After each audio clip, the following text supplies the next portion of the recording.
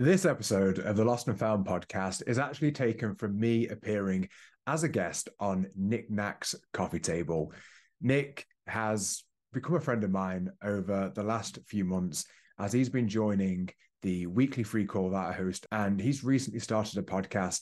And it really was my honor to join him and to share some of my story with him. And he's kindly agreed to allow me to share that as an episode. Very often, as I have guests on here, I'm kind of asking questions about them and wanting to have those conversations and find out more about them. And this seemed like a nice opportunity to share a little bit more background about me through appearing as a guest on his. Nik really is a, wonderful soul. You can really feel it from him energetically. And he has an amazing story himself. And to find out more about Nik, I'm going to add the links in the description to find him, his podcast, his website. And I'm sure at some point I'll have Nik on the podcast to find out more about him and to share his story. Now, before we dive into it, two things. One, if you haven't already subscribed to the channel, please hit that subscribe button because it really helps. And secondly, if you would like to join the free call that I host weekly, that Nik is also on and a part of, then the link is going to be below to be able to join that. And it's ultimately a community of like minded people just showing up in a very honest and authentic way that share part of their journey of self exploration. So if that calls to you, find that in the link below. All right, that's it from me. I hope you enjoy this episode taken from Nik Nak's coffee table. Uh, hey, Sabri. It's uh, yeah, nice to have you today on the podcast. Huh? Uh, like, uh, who is Sabri and what are you up to these days? What are you doing? Hmm, hey, brother. Well, first of all, thank you for for having me. It's it's great to be here and to be, you know, sharing the space and and sharing myself and and receiving you. Who is Sabri? Well, now that is a question. Um, um, and a big question as well. You know, a big question that I think a lot of us can sit with, where we ask, you know, who who am I? Who am I? Um, and I would say it's it's something that's actually become more and more clear for me over the last hmm, year. The last year, after really having been on quite a deep journey of self discovery, self exploration, and personal growth for about 21 years. I feel like the last year, 20 years later, I'm, I'm starting to get close, but something tells me that in the pursuit of that, I'm aware there's like a there's a non-fixedness to it. So now I realize that actually I'm an evolutionary self, which means there's going to be this constant evolution you know, just throughout the lifetime. And it's actually kind of holding the paradox there of the more I get to know myself, the more I get to know that I'm ever changing and ever evolving. Mm-hmm. That's beautiful, huh? and it is. It's, uh, yeah, how to say this is like this process of life. It's learning uh, and endlessly almost. There is no limit. So, like, yeah, self discovery, like yeah, where is the bottom? Where is the top? There is no, I would say. So it's just continuously. Um, yeah, and it's something that I realized for myself as well, and it's really beautiful actually. So as soon as you start to embrace this, then there is no limit to it, and you can just keep on going, and no matter how far you want to go, like it, uh, it's all open, uh, ready to be embraced. No? yeah, absolutely. Yeah, so so much so you know, I just think taking away the parameters of who we think we are, because that really is it, isn't it? Is who we think we are. Mm-hmm. The story, no? Yeah. And and outside of that, you know, I, I try to connect more and more now with the idea of what I am rather than who I am. Mm-hmm. Because this who I believe is just it is evolutionary. It's it's evolving throughout the lifetime. But the what when I anchor into the what I am, I kind of have the felt knowing and realization of the potential. There's a greater potential for who I can be when I'm more connected to, to what I am. Mm-hmm. You know, to a, a unique expression of of the divine, of of the one consciousness. And you know, just being aware of the the vastness of what that looks like how how grand that that palette is. And you know so often we can think with this fragmented portion of that but i really believe in the in the what we are. It's so vast. And then within that what we will go through times and phases of different who's right now who am i okay well I, I feel like i'm this kind of person that ticks these boxes but I can definitely say I've lived multiple lifetimes in this life. Never yeah. mind the ones before. you know, but just just in this one, I've had wildly different um, phases of life where I've looked completely different, where the things I've done have been completely different. And because I've always been a person that goes all in on things that I do, um, that's kind of probably been one of my character traits from a young age. You know, when I get into something, I really get into it. So there's like this there's this capacity to reinvent myself almost like madonna you know so throughout my teens it was i was fully immersed in martial arts you know training 13 times a week and by the time i was 16 i was teaching 23 classes a week and then I got into bodybuilding in my late teens and then competed in my early 20s. And, you know, then I was, I carried a lot more muscle and like I had a shaved head and I looked completely different and dressed completely different. And then I went through these other phases and, and I think it's just like, I think there's something actually quite nice about the idea of just believing that what I want to turn my attention to, that I can just lean fully into that, and I almost don't feel um, bound by about by the idea of of who I think I need to be, and I'm okay with having these kind of extreme changes. And you know, I can say now, looking back at life so far, I'm 35 now. That it's been quite beautiful to have these breadth of experiences, but within the breadth and the range of the experiences, there's also been depth that's gone along with it because I go so deep into things. So, yeah. Yeah, that's uh, really, but it's a beauty about it as well to go all the way into like almost half work is not uh, fully set, but satisfying. I don't know if this is the right word. Um, but I understand it. It's something that uh, I've been holding for myself up as well. And if you really want to get to know stuff or want to dive into something, then you go all the way. And yeah, the depth that it brings along with it. I share it in the same way like you just did it. Uh, it's uh, yeah. I'm looking for my words here. um, yeah, and yeah, I express it as well. Uh, often to people that are really have lived already almost like so many different lifetimes in just in this one singular life experience for the moment uh, because it's almost uncomprehendable or difficult to put into words to even express it to someone else if you want to share it in a way as well but it's beautiful and like how did spirituality uh, actually became a part of your life what i heard from other podcasts and places that you already shared your story is that you were very well here in the physical world and in society with the expectations that we all experience and how things are going on. Mm. Uh, how did this came into your life? Uh, awareness about more that is going around.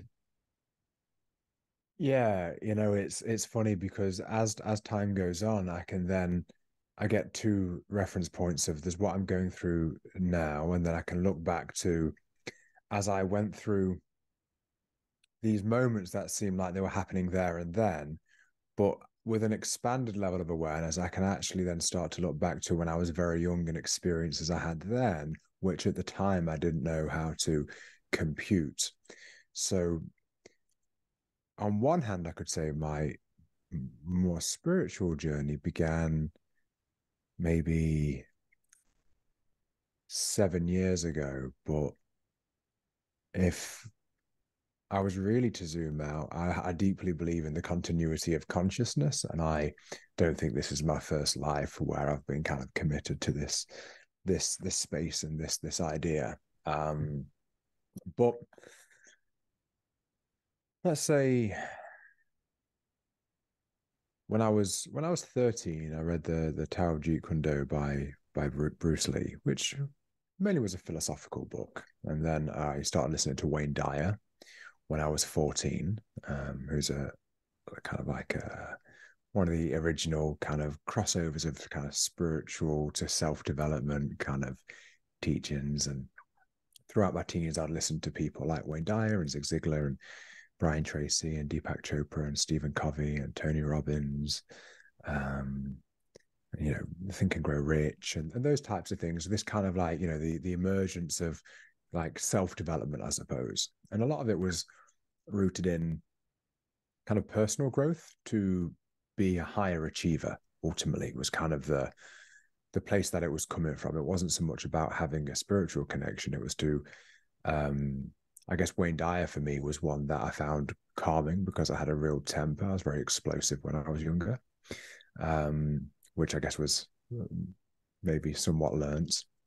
Um, and then the other stuff was to try to tr- was to try to, to to better myself you know um the idea of bettering myself and i did that and i was on that path and i wanted to achieve and progress and do more and be more and have more and do all that kind of stuff that's largely associated you know with oh i mean i would say the west but i think now it's probably just global really um so I did that. Um, I was, you know, kind of, kind of did well with it. You know, in, in my mid twenties, I was kind of like, I kind of became what I thought I was meant to be, and what would place me as in society as being valuable. Mm-hmm. So there was my perception of that at the time. So at the time, I was you know, muscular and lean. I was in good shape and I had the supercar and I was dating attractive women and I was doing the the stuff that I thought, okay, like as a as a guy in my mid twenties, I'm I'm doing it. Yeah. Um, and actually I can look back at that time and and without like kind of judgment of it of it being wrong, I, I don't think it was. It actually felt like the exact thing I should have done at that time because I believe that to be the path. So I walked the path that I believe to be the believe to be the right one. And I kind of look back at myself with a, a sense of actual kind of almost admiration of like, well done, man. Like you were really focused in your early 20s. You know, I stopped drinking when I was 21. I was really focused on training hard and bodybuilding. I started my business when I was 21. I look back at that and I think, well done. Well done. Um, the effort was there, you know, the effort was there. Yeah. yeah, yeah.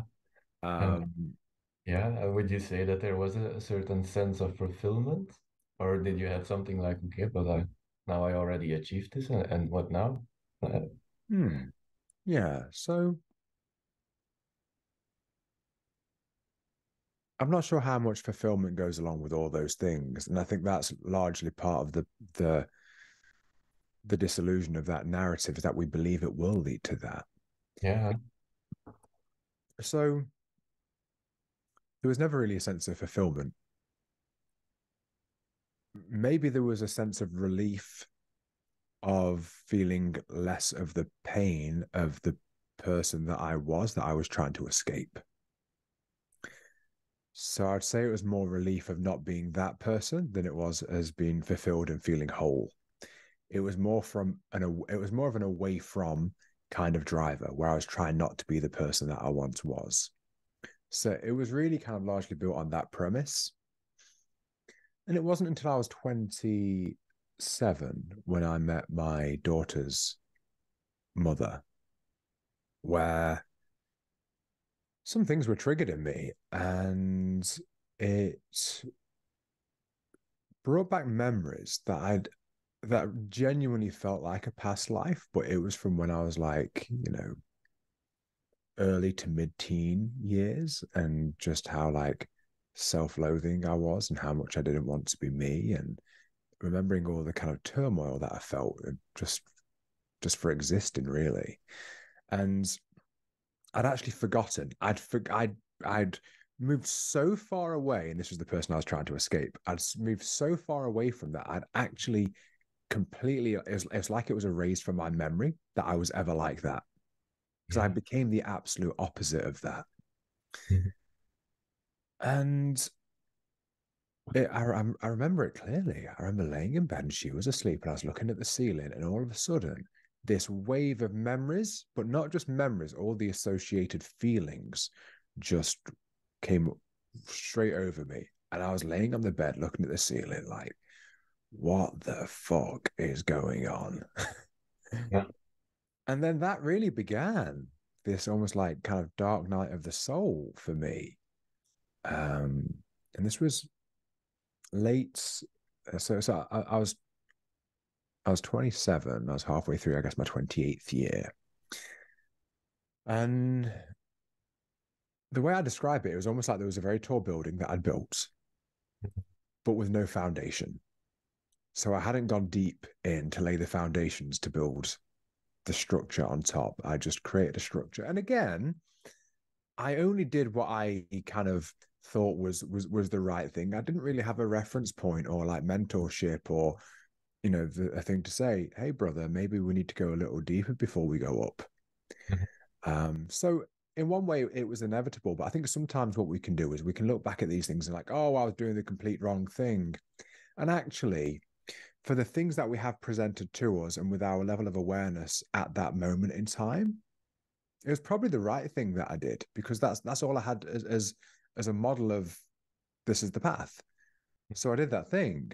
Now I can look back in hindsight and realize, oh, I was off here. Here's where I was off. But ultimately, I was off because, and very much in the West, we don't really have that type of guidance of a, a, path to more levels of, you know, expanded consciousness. And, and I say we don't have the guidance, not kind of just structurally. We can seek it out and it is available but we have to find it really. Yeah. And at that time, that's the path I was on. So that led to like I would say, really seven years, seven years of you know deep inner work, and sometimes now you know in the I'm gonna hop timelines a little bit, but now when I when I coach, you know, and sometimes people think like a few weeks, a few weeks, and uh, you know I would have done the work, and it's like, well, maybe, but like I, I was seven years like deep in, and and I think you know again just from the place of not that I constantly need to heal because I don't think that is the case, but the part of the evolution of constantly evolving. You know, there's going to be different things that come up where maybe that thing wasn't relevant a year ago, and now something kind of in this new emergence of me now, maybe something comes up and it's like, oh, okay, maybe that needs addressing. Mm-hmm. Um, just giving some attention to that. And um, yeah, so seven years, that's kind of when I first did ayahuasca, was about seven years ago. And I'd say that was the first time where I really had a reference for what God was. And there was this deepest sense of, you know, it was about, I don't know, an hour into my first journey of feeling, oh, I had no idea what God was before. And it's like my eyes had been opened for the first time. And I think this actually, for, for me personally, you know, the stories about Jesus and making the blind man see, something tells me the reference was to opening people's eyes to God rather than actually someone who is physically blind and then being able to see. Something yeah. tells me it was more relation to allowing people to actually see what God was and feeling that person was blind before. Hmm. Yeah, there's a lot of symbology in those stories as well. Uh, I can definitely relate to it as well. Uh, at a specific point, like the culture, the both of it, like I think the UK and Belgium, it's not so far from difference in culture. I would say, yeah. Uh, we're just raised in this materialistic world, and like it's it's all about the physical and the things around us, but that we really lost the inside of what the connection from within is mm. uh, in a way and then yeah having these kind of discoveries of opening up to our own divinity uh, as what we are as beings or what, what we are to do here uh, that it's definitely valuable if you start to look to these concepts and ideas and stories through a different lens now. Uh, when you wake up, like uh, becoming a person that is not blind anymore, but seeing uh, that it is all of a sudden it gets a whole different context, a whole different layer. I don't know how, how to express it actually. Um, but it is beautiful how you say this that you gain deeper insights after the ayahuasca ceremonies and that it even connects you to concepts that are also described, for example, in the Bible and in many different religions as well. But that it gets a completely different image than the thing that we get from uh, a religious per perspective. Um, so yeah, and it's unique that it comes to plants, uh, which was for me a big eye opener as well. Because I, uh, if you now go back to the Amazon and then the days that, that uh, you know had like the Catholic Church diving into the Amazon and trying to uh, enforce religion on the indigenous people, while they actually already had a very deep connection and insight in the divinity of what is you know and then yeah seeing now back that these plants are actually bringing this deeper insight again from yeah what the divine is to us and how we are connected to it that it, it's really amazing and actually mind-blowing eh? and it, it was almost like yeah um, it was devilish you know like oh no don't work with plants and no it's crazy it's the work of the devil you know but then it's beautiful to see how this all reconnects again uh, and how this all yeah brings it all together again. Yeah, you know, I think um, a lot of Catholicism was really a political mm-hmm. movement. Mm-hmm. Uh, it was empire, and empire loves to corrupt and it loves to seek power and you know it, it would obviously be a threat to have these plants, you know, these plants that are linked to the devil. Well, funny that, like plants, nature. Yeah. mm. um, created by God. Hmm. Hmm. That we take and then feel this deep connection to God. Now, why why might it be that an establishment or an institution, and this is not a conspiracy, it's just a question, why might an establishment or an institution that says you have to come to our place to access God and you have to enter into our hierarchy to access God, why might they not be keen on the idea that here's a plant you can take anywhere and access God? Just mm-hmm. a question. Just a question. yeah, no, it is. It's almost like, uh, why wouldn't I be allowed to directly connect to God uh, if this is open for everybody? Why do you need to go through a third party to achieve connection in a way? Mm-hmm. Uh, yeah. Uh, I wouldn't. Uh, it, it comes straight away from Catholicism as well. It's something that's very, very deeply rooted in in the world that we know today as well. Um, and yeah, the thing is also, I I learned for myself that it actually is also a very important part of the learning process that we're going through.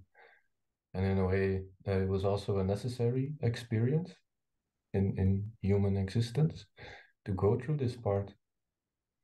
Um because uh, yeah we, we have to learn to embrace the full spectrum which includes as well the shadow uh, the darkness and yeah whatever corruption that is going on or how would you interpret that uh, in your own experience yeah, absolutely. You know, I am such a believer that we have to be able and willing to see our own darkness.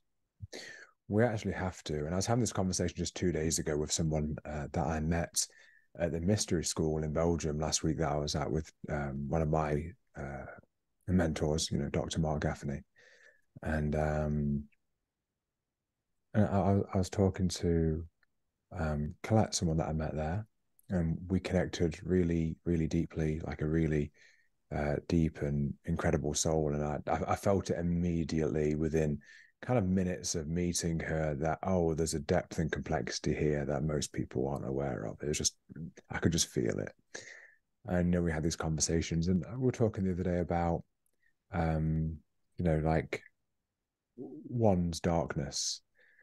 And I was, and she was saying that I seem to have the ability to see the good and, and the light in people.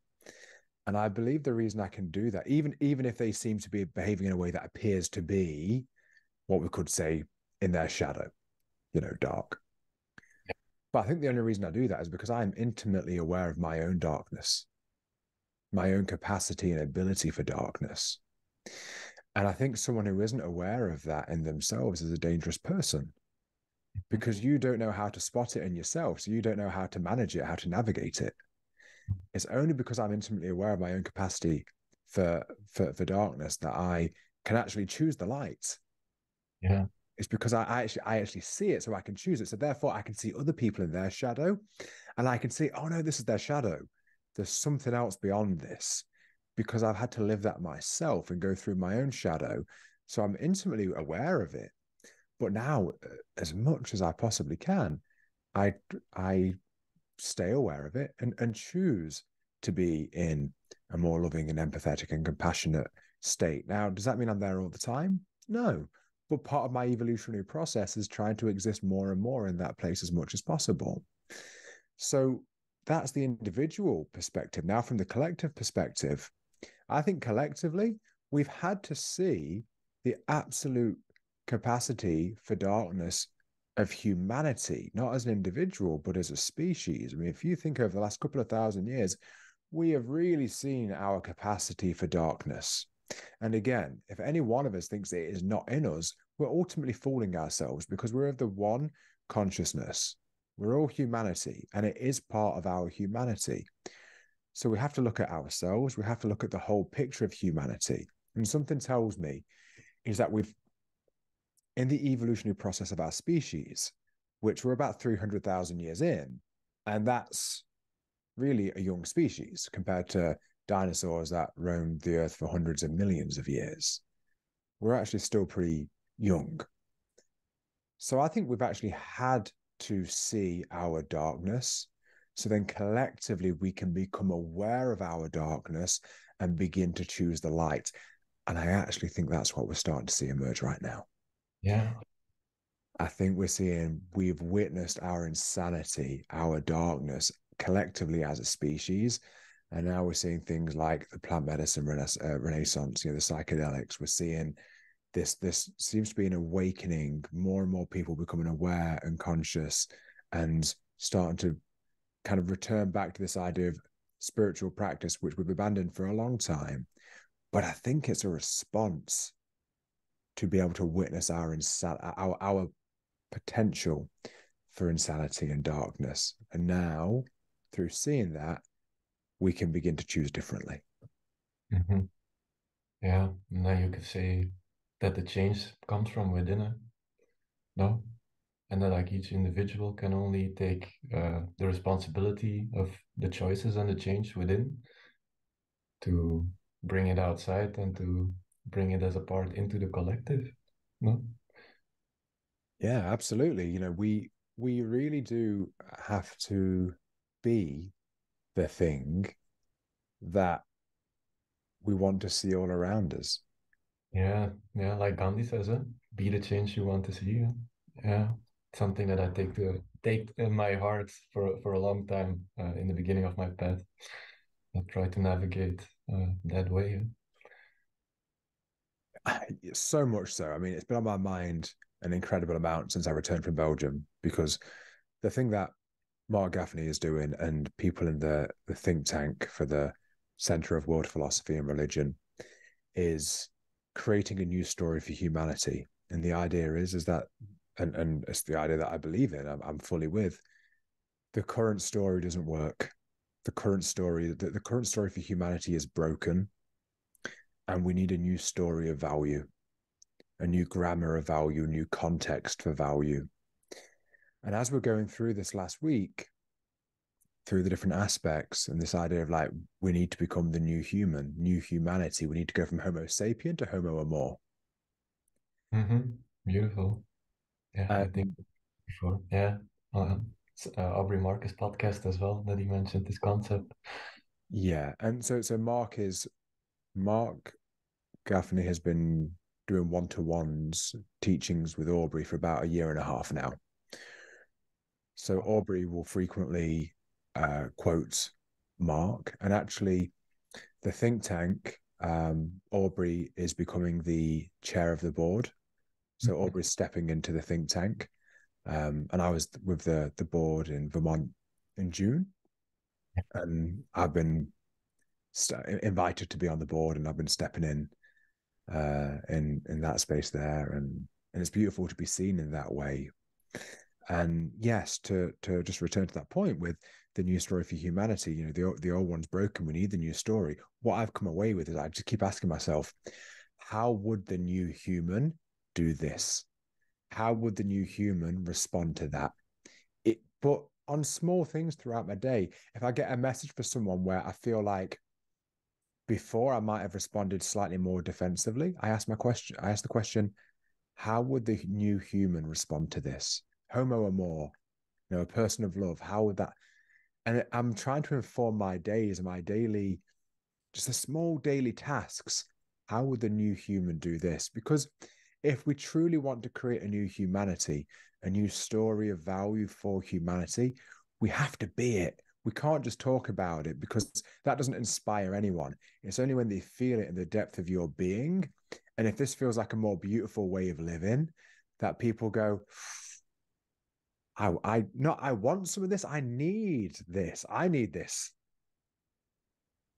Yeah, yeah, yeah. And then yeah, it's like you said, and it's not only about talking about it and thinking about it, but then we really have to start to apply the actions towards cultivating this as well uh, uh, in ourselves and ultimately to share it as well and it's really like a daily practice uh, and that it's not something that like oh yeah now i achieved it and it's gone I, i'm done with my work uh, no it's really that is uh, like we're continuously building on top of it uh, and building and building and letting it grow like cultivating your garden with plants uh, like it takes constant care uh, and love to yeah have a beautiful garden and to maintain the garden as well it, it does absolutely and if, and if you leave a garden unmaintained mm-hmm. what spreads through the garden and grows?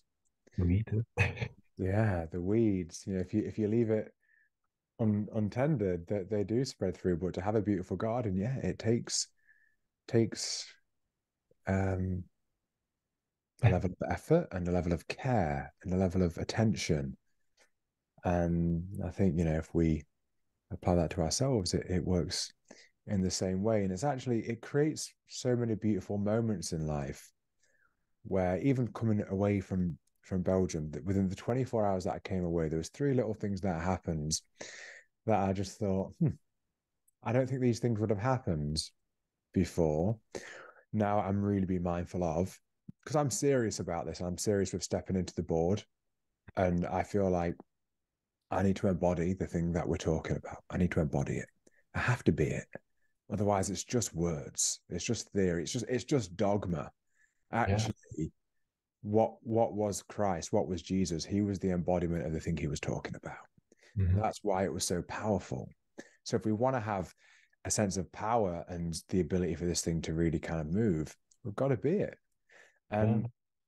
I got on the flight back from Belgium to England and um, there was there, there, was a guy in the, the flight that I I don't know I would I would guess he was on, on the spectrum for autism and just how his behavior was it, it, seemed reminiscent with that and he was like you could see there was like a high level of anxiety and you know he he had a pillowcase as his carry-on bag and has had things in a pillowcase and then he couldn't find his boarding pass and he just emptied everything out on the floor really frantically like i don't know where it is. And you could see like it was a very like frenetic kind of energy. And then he was just one person behind me and we were waiting and people were putting their bags in the overhead storage and he just shouted out like what the hell's taking so long and I just turned and just looked at him, just really gently, just looked at him right in the eyes. And I just said, Oh, people are just putting their bags in the space. So uh, people have to wait for that. And then they sit down. I went, Oh, okay. And I just looked at him, I held the eye contact and I said, Are you okay? He said, "Yeah, yeah. I just, I, I didn't, I didn't sleep. I didn't sleep much." I said, "Yeah, I feel you." I said, "This last week I've been away. I've been having like three hours sleep each night and two last night. I know how it is, right? We can get tired." Then his energy dropped. But what I noticed was people around seemed a bit nervous of his energy. I noticed everyone else's energy when they kind of just, it felt like to see me hold a softness around him and was like, I didn't need to be in resistance, that I could meet it with love. I noticed the energy around me of everyone just kind of like, ah. Uh, almost like everybody sensed that somebody was holding uh holding the the the rock into the space like yeah. So so that was that was one example where I thought, hmm, I feel like that's how the new human would interact in those scenarios. And it's not that easy. Eh? Definitely also if you know from your own experiences uh, that you have been coping with temper as well and trying to deal with it in your own life. Uh, you really need a certain capacity and, and skill set and knowing yourself to be able to do this, uh, to hold that energy, no? Yeah. And, you know, I think one of the things I has probably served me well in that area specifically is I don't feel, I rarely feel like physical threats just because, you know, I've been martial arts for such a long time and I'm still like, I'm I'm I'm still not a small guy, you know. I'm ninety something kilo or you know a couple of hundred pounds, and it's not like I'm a small person. Um, so I I never really feel like I need to be nervous because I'm at risk physically here, because I know if it came to it, I could just kind of, you know, control the situation if it if it escalated in in, in that manner. And um, my camera keeps just tracking funny.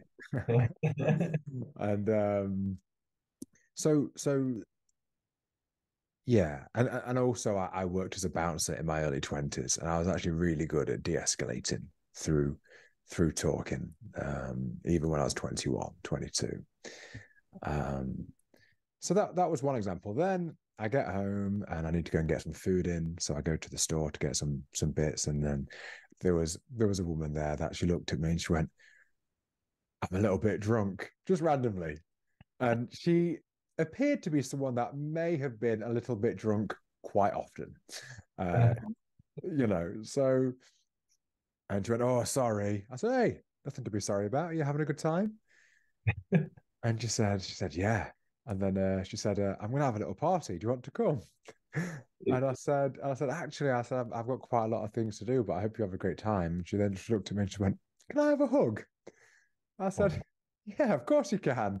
And again, you could see other people because she was a bit loud in her energy. Other people were, you could see there was this wariness. I went, Come here. I put my arms around her, like pulled her in, gave her a squeeze. And, um, and then, you know, she was just very playful. And again, you could almost see there was a sense around of people just, feeling a bit more relaxed around this kind of frenetic energy. And then I get to pay for my food, and the person in front of me, she was a little bit short on on money of to get all of her shopping, and she was like, "Oh, you know, I'm like just leave, leave those bits, and I'll, I'll, go to the car and see if I can find the rest of the money."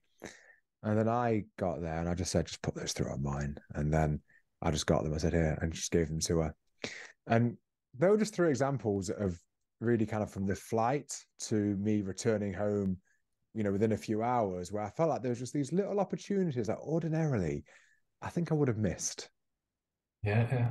I think I would have missed. And they were small, but there were these just moments where it feels like those subtleties, if we all start to do more of them, I feel like there'll be a cascading effect. Mm-hmm. Yeah, so you don't have to move mountains to to achieve the change or to see the change. If you can really become aware, aware of the subtle details and the small things that are going around in our daily life, uh, yeah, I try to do the same when I notice that people have a little bit harder time or they're not in such a good energy. To simply be friendly, to give them a good smile, to ask them, How are you doing? If everything's fine, is there something that I can help you out with? Or you see a, an older person struggling on the streets with, their with their luggage or, or with their shoppings and, and all these kind of small things and when you see people change and all of a sudden they're like oh uh, thank you And it's it's just a small simple thing, but it can live today in such a beautiful way. Yeah. Yeah, Even if you're feeling a little bit anxious yourself, and by just by doing yeah certain actions like this, that it it not only lifts your own energy, but in the same time you're lifting the energy for the people around you as well. And um, it's really beautiful, and I think it's a, a more potent foundation to start building on top to instead of always trying to achieve the big world changes. I would say no, it it all starts with small things. Huh? Yeah, absolutely. And and I can see that in you, Nik. You know, I see that in your demeanor and your energy. I I I can feel that from you. It's really kind of self-evident. Um and yeah, you know, again, I I of last couple of years I find myself often just considering some of the things that Jesus said. And um when he said, you know, basically love your neighbor as yourself, there's two things implied there. One, you're meant to love yourself. Two, in order to love your neighbor as yourself, it means you have to see your neighbor as yourself, which means I I, I don't see a separation between you and I. I Yeah. recognize the oneness. hmm hmm I recognize the oneness that when I look at you, I'm I'm really just looking at a, an expression of of what expresses in me. I'm Yeah. looking at that one consciousness expressed through you. So for me to love you as me, first I have to love myself, one, and two, I have to recognize that the, the idea of us being like separate or different is somewhat of an illusion. And um yeah, again, that's it's actually, I think, a, a profound few words that if you kind of sink into the depth of it, of again, how does that influence how we how we interface with others. You know, I, I see this person and I just love them the way that I'd love me because I see them as me. I realize we're the same. hmm Yeah, yeah, yeah, yeah, and that's really something beautiful, and it's actually beautiful to give it away in the in this episode as well for the audience. These are some very potent and valuable uh, concepts of cultivating in ourselves? Uh, and then you stop to see things as separated. It, it's like yeah, there's no separation anymore. huh? It like it, it makes the illusion crumble down Yeah. specific way. Mhm, really beautiful. I love it. And like uh, with the board, what what is the intention of the board uh, that, that you guys are coming together? Where do you guys want to take this, and, and what's gonna come, or what's the percep or perspective for the future with the board? Yeah. So the, the, the think tank really is comprised of some some of the best philosophers in the world and the scientists, and, you know, there's people there, you know, the doctorates from Harvard and Oxford and MIT, and it's there's a very scholarly group there, and people have been involved, like Richard Schwartz from the Internal Family Systems, and um, Aubrey, you know, is, is is stepping on, and I'm new to it. I was like I say, I was invited there in in June, and then I was in Belgium, and now I'm stepping in, and it's really this idea of this new story, and it's to address the meta crisis.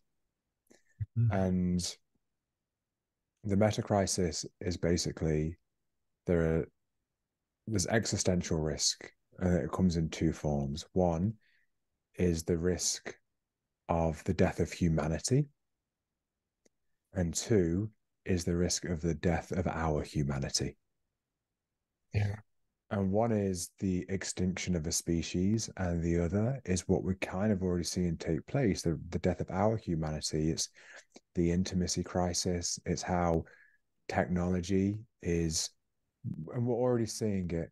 We're already seeing you know from the rise of social media the increase of anxiety and depression and separation the loneliness epidemic how dating apps affect the dating sphere how it affects relationships just on every single kind of touch point of how we are hugely struggling as a species hugely just when I went from Belgium, uh, from where I was in Belgium to Brussels, it was a one hour train ride. It took four hours because there was two attempted suicide attempts just in that one out what should have been a one hour journey.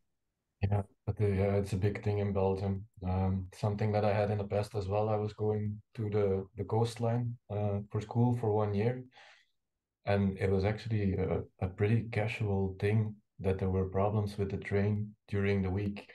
Like, oh, somebody else that tried to jump on the rails, and it's crazy. Um, like I grew up in Belgium, and to see how uh, it's maybe not the right thing to say, but then the darker and the darker the things started to get, but it's also almost like it's getting more into the into the light, or it's becoming more clear, or that all these like these elements that people were not bringing into awareness that it's getting more and more clear today.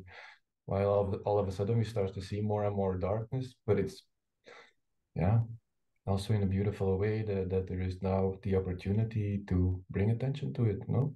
Yeah.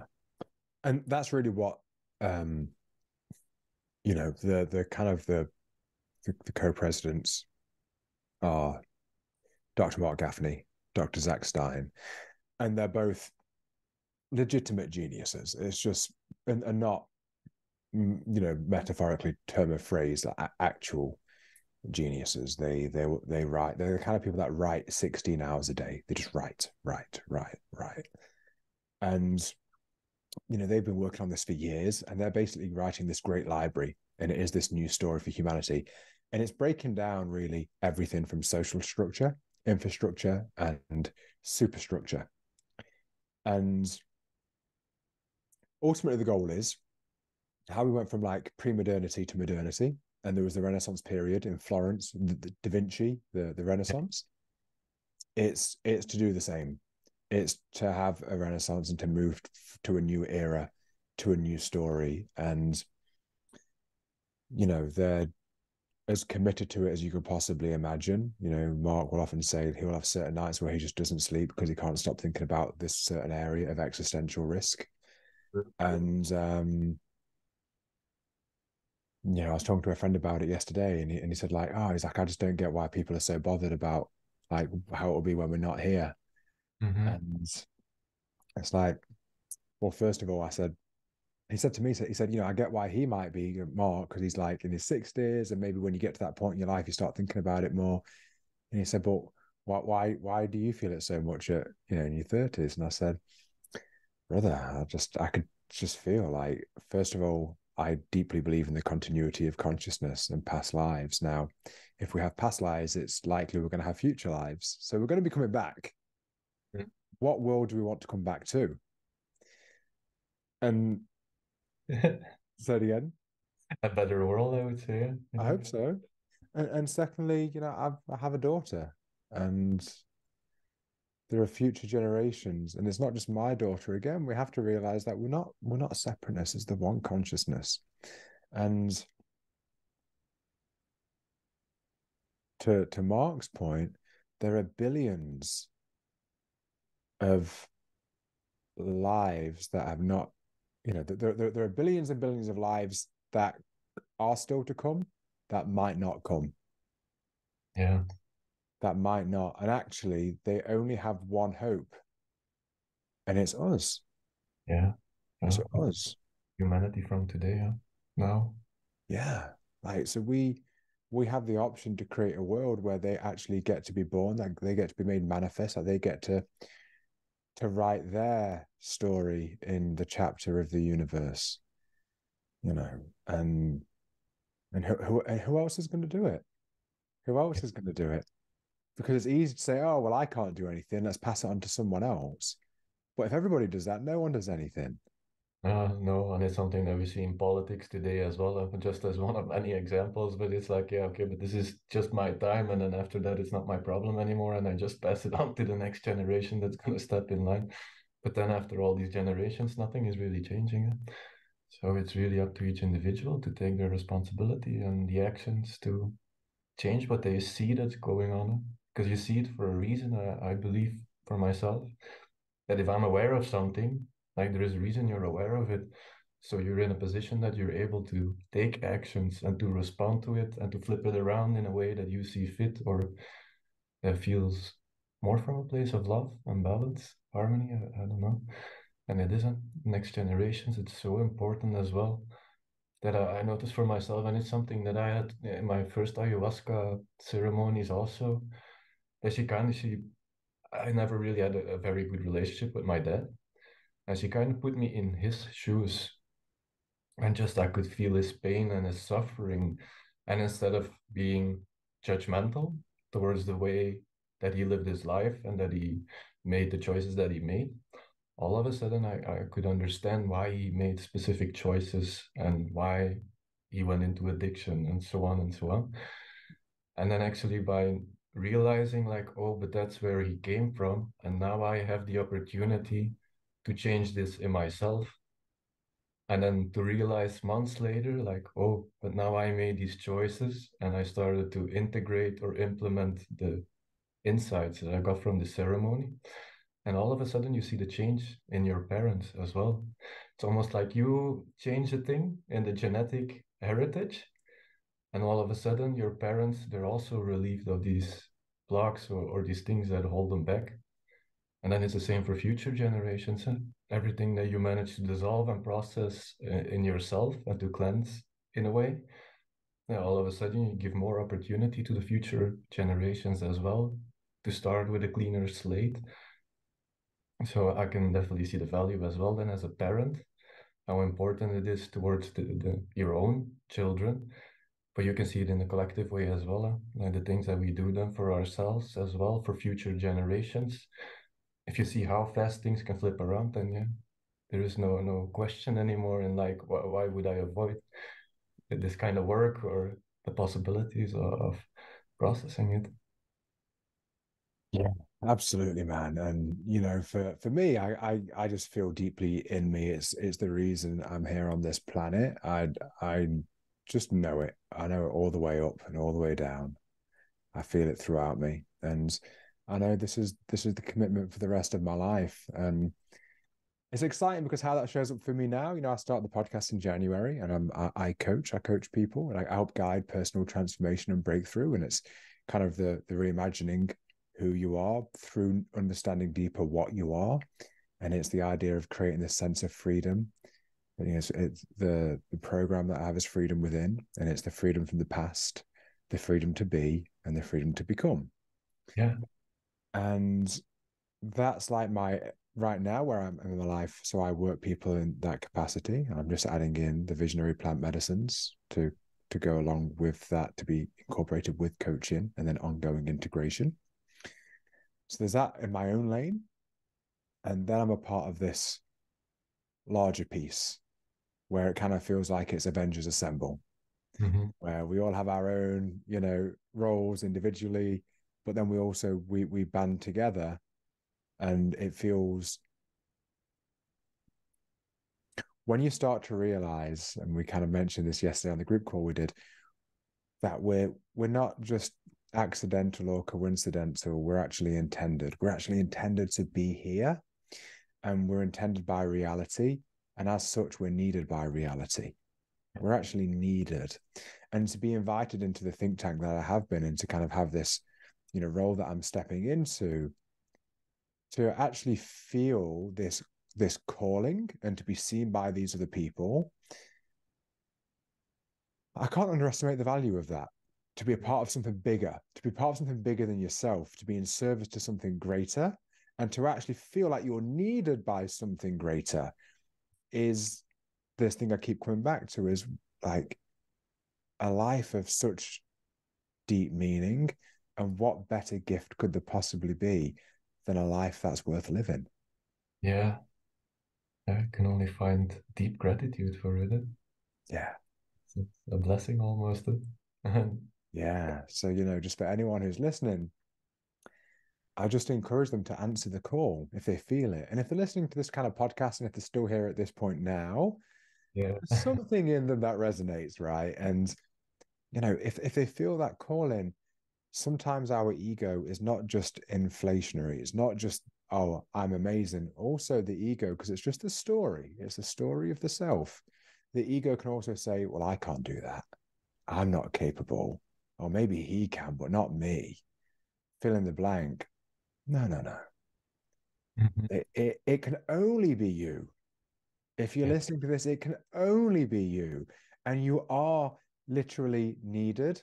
And there are people out there right now, and there are generations and and voices and humans that are not yet made manifest that are actually relying on you right hmm. now to to step into your own personal power and to share the gift that you are because each one of us are a gift and that gift needs to be shared.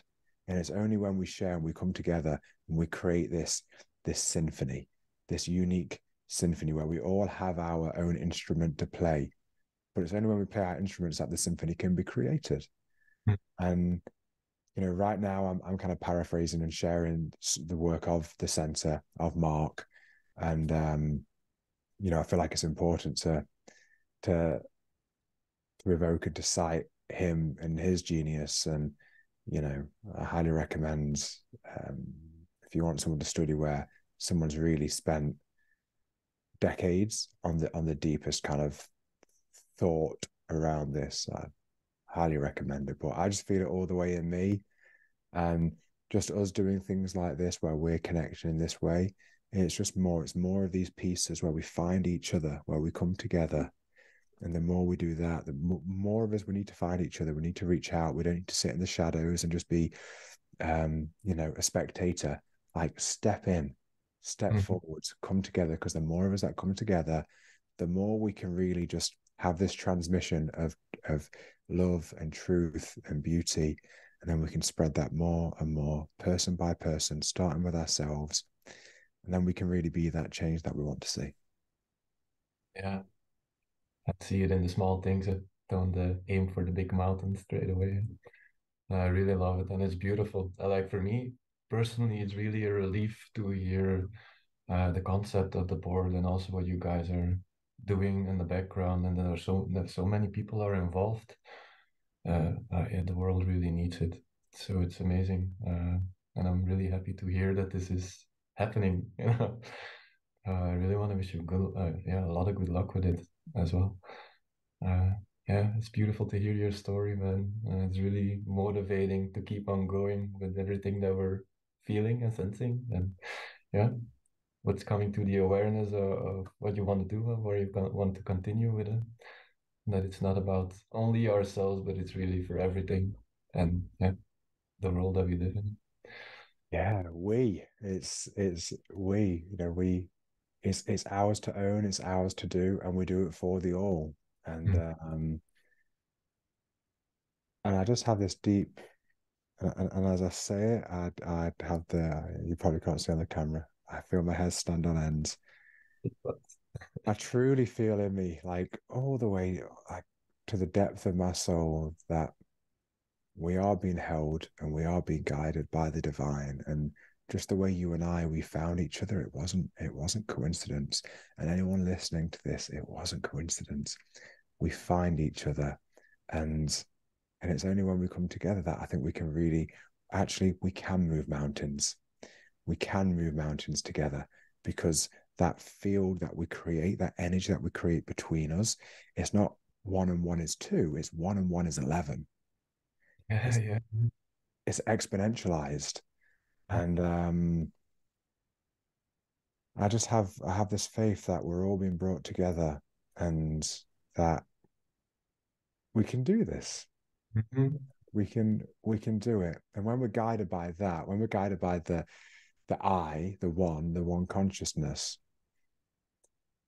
and we're just parked to the side our story that might tell us we can't do it. Like, let's actually play.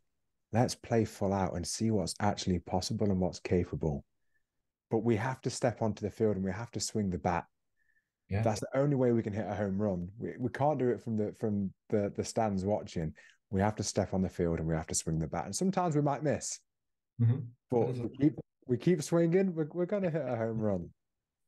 Uh-huh, it is though, and it's all just part of the process. It's uh, really no reason to shy away from, oh no, what if I don't hit it straight away? But uh, yeah, we all have a process to learn, you know, uh, and it takes a couple of hits before you yeah, hit the ball, I would say. yeah, yeah, yeah, yeah, that's it. And and thank you, brother, you know, for the invitation and thank you for doing what you're doing. And and it's exciting. I'm excited to see how you're kind of stepping up more and emerging more. And I can I can see, you know, you've got so many, so many gifts to share and and so much of it actually is in the energy of your being. It really kind of shines through. I think anyone who's listening to this will really feel it and see it. And it's uh it's it's great and it's exciting to see where where that goes.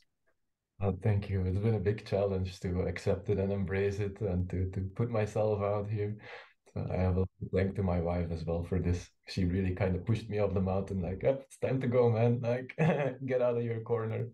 So I really felt comfortable uh, to stay in the shadows and to just do my own thing. And but it's yeah, like there really comes a point that you have to start sharing and be there for others as well. Um, something that the plans were very clear on as well. And then it's beautiful. Even two years ago, it's like, yeah, man, it's time to go and work with other people. Like, uh, how? Like, I'm not ready to serve ayahuasca. I wouldn't even know how how to open up myself. And then just by being open and taking the things that came along on my path, even without knowing how it will go or continue or where it will bring me, just to be open for the opportunity uh, opportunities that were offered it's beautiful to see uh, where where we are standing today, and I'm really, yeah, I'm really curious and excited to see where things will be going. Uh, the the positive energy and just the good energy that that comes along with it. It's um, I, I, I told this already to friends as well that uh, two years ago I couldn't even imagine, like it wasn't even in my perspective to see what's going on today and then realizing, oh, but we're just starting. You know, it's like I didn't even saw this for my whole life plan. And then yeah, but I'm just 33. Like there's still so much to go and so much to do. So yeah, so much opportunities, so much space to, to do beautiful things and to see yeah, whatever will come. And I embrace it. I'm really happy for it. Yeah, we're we're just getting warmed up. Mm-hmm. Yeah, yeah, but it is. Yeah, I'm still getting used to this as well. Uh, it's uh, still a big challenge to come out and so on, but I start to feel more more comfortable with it as well. Um, but yeah, it's good. I'm fine with it, and I'm really glad that I had the opportunity to hold space for our conversation as well. And thank you for coming on. Um, and then I would ask you uh, just a couple more things. Uh, what is your future plan for your personal process? Uh, and what can people expect from you if they want to work with you? Yeah, yeah, thank you for asking. Um, you know, each as I move forward, I want to constantly just ask and tune in to to source, to God, to the divine, to the all that is. Am I in the right direction? How do I serve more? What you know, what do I need to do? and I feel like I want to be guided with that as my my north star. That's what my compass is pointing to, and being open to the evolution of what that looks like. One of those things that came up for me recently was the opportunity to train with, you know, Maestro Hamilton Souther, who I know you've you've had on, and I've always felt this calling to incorporate the visionary plant medicines into my coaching. The the type the type of and I say coaching it. I, I, I often think that it's not quite the right word for what I do. It's it feels much more like um, one a very a deep intuitive guidance where I really feel in my body. I feel what's coming up for the other person.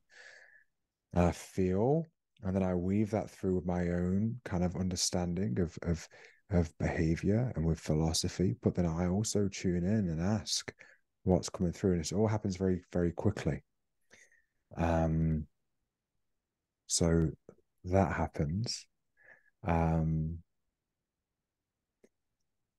and that when it comes to one-on-one coaching that can be very personal and very very unique for each person it's just what's coming up what's alive right now for them and i really kind of just tune in and feel into that with that deep space of presence so my modality really is a combination of um you know the the training i've done with eckhart tolle uh in in his course and teachings on being a teacher of presence. So there's the element of presence.